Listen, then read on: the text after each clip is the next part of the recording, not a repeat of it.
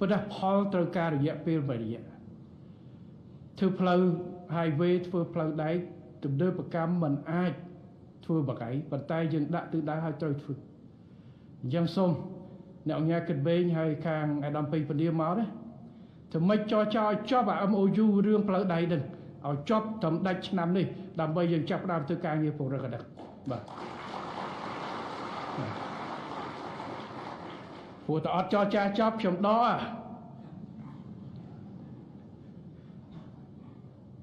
ចប់វាមិនល្អឥតខ្ចោះឲ្យតែវាដើរចាប់ផ្ដើមធ្វើដំណើរទៅ ហើយចាំយើងពង្រឹងទៀតជាគោលការណ៍បាទអញ្ចឹង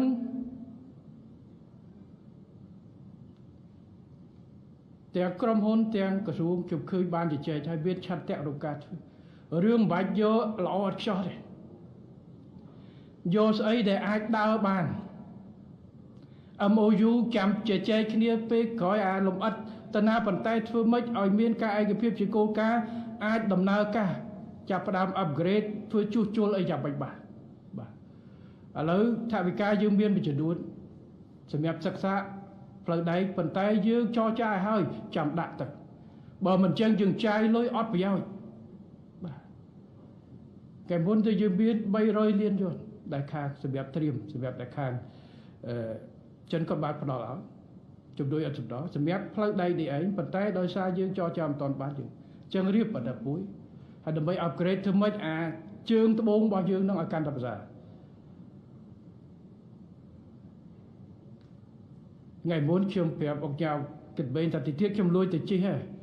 គាត់ថាទៅថ្ងៃណាប្រាប់គាត់ផងខ្ញុំថាបើប្រាប់ខ្ញុំមិនបាច់លួចទៅអី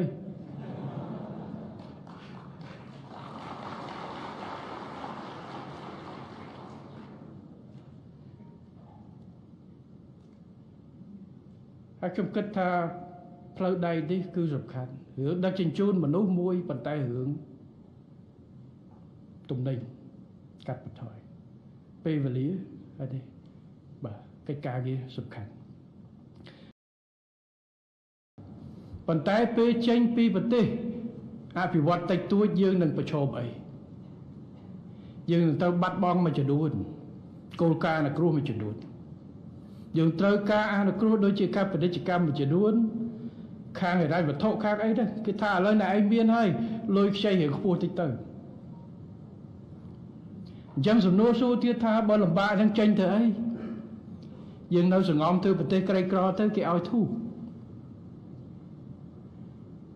សំណួរសួរថាតើយើងនៅក្រមួយជីវិតឬយ៉ាងម៉េច តើយើងនៅរំពឹងគេបតក់ឲ្យរហូតតាមការអនុគ្រោះឬត្រូវតែពឹងខ្លួនឯងចម្លើយគឺជាបំផុតពីជំរើសទី2យើងគ្មានជំរើសអីក្រៅពីពង្រឹងការឯករាជ្យភាពភាពម្ចាស់ការរបស់យើងតាមរយៈការចាក់ចេញពី LDC ដើម្បីពង្រឹងខ្លួនឯងបន្ថែមទៀតនេះគឺជាកិច្ចការតែខ្លះតែយើងឆ្លាតតិចទៅមិនបាច់ខំប៉ុន្តែអាពឹងនឹងមិនប្រកបទេ ព្រោះវាធ្វើឲ្យយើងបាត់ភាពព្យាយាមយើងមិនប្រឈមការលំបាកយើងនៅតែប៉ុណ្្នឹងទីផ្សាររបស់យើងកម្រិតជីវភាពរបស់យើងត្រូវតែកំណត់ត្រឹមតែប៉ុណ្្នឹងព្រោះការជំរុញប្រទេសរបស់យើងឲ្យកាន់តែខ្ពស់ដែលកន្លងទៅយើងដាក់ទិសដៅឲ្យយើងនៅបន្តដាក់ទិសដៅឲ្យប្រទេសយើងខ្លាយជាប្រទេសដែលមានឆ្នាំ2050ដែលខ្លះថាយើងក្អួតធ្វើមិនបានឥឡូវបងប្អូនមានទស្សនៈមិនថាទៅ ប៉ុន្តែវាគ្មានអីខុសទេក្រៅពីការដាក់ទិសដៅខ្ពស់សេចក្តីសង្ឃឹមខ្ពស់ដើម្បីយើងព្យាយាមខ្ពស់ដើម្បីលើកកម្ពស់ជីវភាពប្រជាពលរដ្ឋរបស់យើង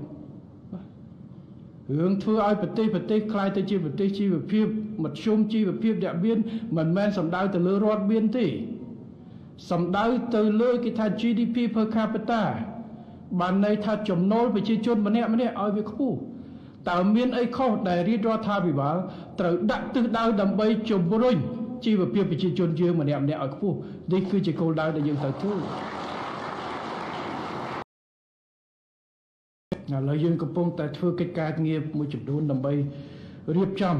បើកច្រកដូចជានៅខាងហាឡានៅខាងប្រទេសគេថាអ៊ីស្លាមប្រទេសមូស្លីមដើម្បីយើងមើលពីបដកម្មផលិតផលយើងបន្ថែមទៀត ទីផ្សារនៅបន្តបើកហើយក្នុងមួយឆ្នាំនេះលោកជំទាវរដ្ឋមន្ត្រីបានធ្វើការច្រើនជាមួយនឹងក្រសួងមន្ត្រីក្រសួងយើងធ្វើកិច្ចការនេះច្រើននៅក្នុងការភ្ជាប់ទំនាក់ទំនងទៅចរចាសំបីតែទៅប្រជុំអាស៊ាននេះគឺឆ្លៀតចរចានាំកនាំស្រូវជាមួយហ្វីលីពីននាំជាមួយអីការងារលឿនអាដាមចំប្រសិទ្ធបាន លោកជំទាវគាត់ធ្វើការងារលឿនមិនថាតែនិយាយគាត់លឿនទេក្នុងគណៈរដ្ឋមន្ត្រីគឺមានលោកជំទាវដែលថាជារដ្ឋមន្ត្រីដែលរាយការណ៍លឿនជាងគេលឿនហើយទាំងលឿនទាំងការនិយាយប៉ុន្តែការងារតែធ្វើក៏ក៏ច្រើនដើម្បីយើងបើកច្រកព្រោះចោចាម្ដងមិនមែនស្រួលទេចរចាហើយមិនមែនត្រឹមតែបានចរចាឯកភាពគ្នាគឺទៅ follow up ទៅតាមដានដើម្បីអនុវត្ត មិនមែនសញ្ញាថា20 50ម៉ឺនតោនតែ50ម៉ឺនតោនត្រូវតែតាមដានការអនុវត្តនេះគឺជាកលឹះនៃជោគជ័យមិនមែនយកលុយកដាស់ទេគឺតាមដានចរចារហូតបាទជួនកាលប្រទេសមួយគាត់បើកឲ្យយើងនាំផលិតផលប្រប៉ុណ្ណេះ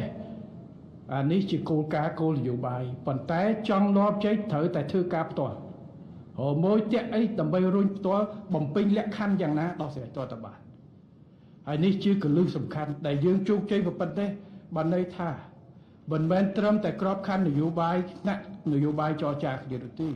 ប៉ុន្តែគណៈប្រតិបត្តិក្រសួងពាណិជ្ជកម្មក្រសួងពាក់ព័ន្ធទាំងអស់ហើយខ្ញុំសូមបញ្ជាក់ថាឥឡូវនេះវាមានយន្តការច្រើនដែលបង្កើតជាពិសេសនៅក្នុងតំបន់របស់យើងហើយជាពិសេសយន្តការខ្លះ គឺมันពាក់ព័ន្ធឬពាក់ព័ន្ធតិចតួចជាមួយសេដ្ឋកិច្ចប៉ុន្តែមានចរិតលក្ខណៈជានយោបាយសន្តិសុខដែលអាចប៉ះពាល់ទៅដល់នយោបាយអភិក្រិតរបស់យើងសូមបញ្ជាក់ឲ្យច្បាស់កម្ពុជាមិនចូលរួមជាមួយយន្តការណា ដែលមានចរិតនយោបាយបង្កើតឡើងដើម្បីប្រកួតប្រជែងឬប្រឆាំងជាមួយប្រទេសណាឬប្លុកណានោះទេនេះគោលនយោបាយរបស់កម្ពុជាតាពីមុនហើយយើងនៅបន្ត យើងចូលជាមួយប្លុកយើងចូលជាមួយយន្តការ ដែលមានទិសដៅរួមក្នុងការបង្កើតឡើងក្នុងការថែរក្សាសុខដុមនីយកម្មសុខសន្តិភាពវិបលភាពនៅក្នុងតំបន់ជំរុញការអភិវឌ្ឍរួមគ្នានៅក្នុងតំបន់ជាពិសេសសេដ្ឋកិច្ចនិងយន្តការដែលថែរក្សាសន្តិភាពនៅក្នុងតំបន់ពួកកម្ពុជាត្រូវការសន្តិភាពសន្តិភាពផ្ទៃក្នុងប្រទេសត្រូវថែរក្សាឲ្យបាន ប៉ុន្តែសន្តិភាពនៅក្នុងតំបន់ក៏ចាំបាច់ដែរព្រោះវាពាក់ព័ន្ធនឹងយើងដែរគ្រាន់តែគេវាយគ្នានៅអ៊ុយក្រែនថ្លៃអង្គថ្លៃស្រូវឡើងថ្លៃថ្លៃប្រេងឡើងថ្លៃគ្រាន់តែវាយគ្នានៅមជ្ឈមបូព៌ាកប៉ាល់ដឹកទំនិញកាត់សមុទ្រក្រហមមិនបានត្រូវបន្ថែមប្រមាណ10ថ្ងៃតម្លៃផលិតផលយើងត្រូវឡើងថ្លៃដឹកទៅអឺរ៉ុបទឹកអីត្រូវប្រកួតប្រជែងជាមួយប្រទេសផ្សេងទៀតយើងមានការលំបាក តម្រាំបើសិនជានៅក្នុងតំបន់មានបញ្ហាតើទៅយ៉ាងណាហើយប៉ះពាល់ទៅដល់ប្រជាពលរដ្ឋយើងតែប៉ុណ្ណោះអញ្ចឹងសម្រាប់កម្ពុជា ជាសមាជិករបស់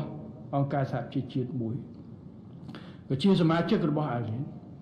ក៏យើងចូលរួមយន្តការដែរដែលបានផ្ដល់ផលប្រយោជន៍ក្នុងការថែរក្សាមិនបង្កើតឡើងដើម្បីប្រឆាំងប្រទេសណាឬប្លុកណា មិនប្រកួតប្រជែងតែជាសមារដ្ឋកម្មដើម្បីបំពេញឲ្យគ្នាហើយជាពិសេសជំរុញការវិវត្តសេដ្ឋកិច្ចរួមគ្នាថែរក្សាសន្តិភាពស្ថិរភាព Swift News Best TV ព័ត៌មានក្នុងដៃអ្នក